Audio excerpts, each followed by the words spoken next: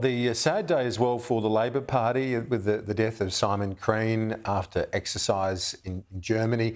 My understanding is that his wife Carol uh, is in Germany, uh, but wasn't with him at the time. Uh, but obviously, a very difficult day for Carol and, and the rest of the family, as it is for the Labor Party more broadly.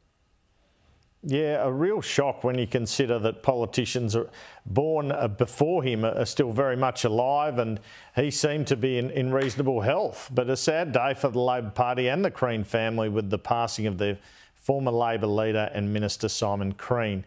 As opposition leader at the turn of the century, he did well prosecuting the Children Overboard scandal. He successfully prosecuted the scandal around then Governor General Peter Hollingworth. But his loss in the Cunningham by election to the Greens pretty much saw him off. He was not a popular opposition leader, but he was successful at holding the blowtorch to a government. As a minister, he memorably resigned to Julia Gillard after calling on a spill to be brought on by Kevin Rudd, and it was never brought on.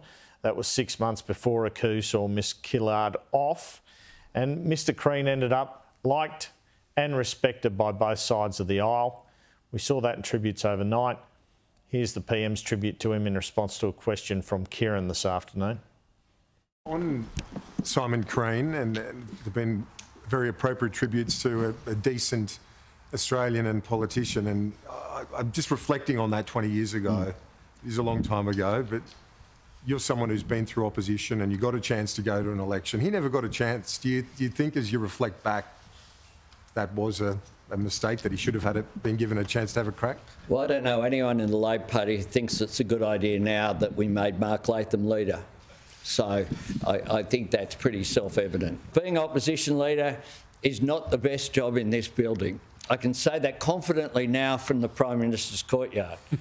and it, uh, it's a tough job.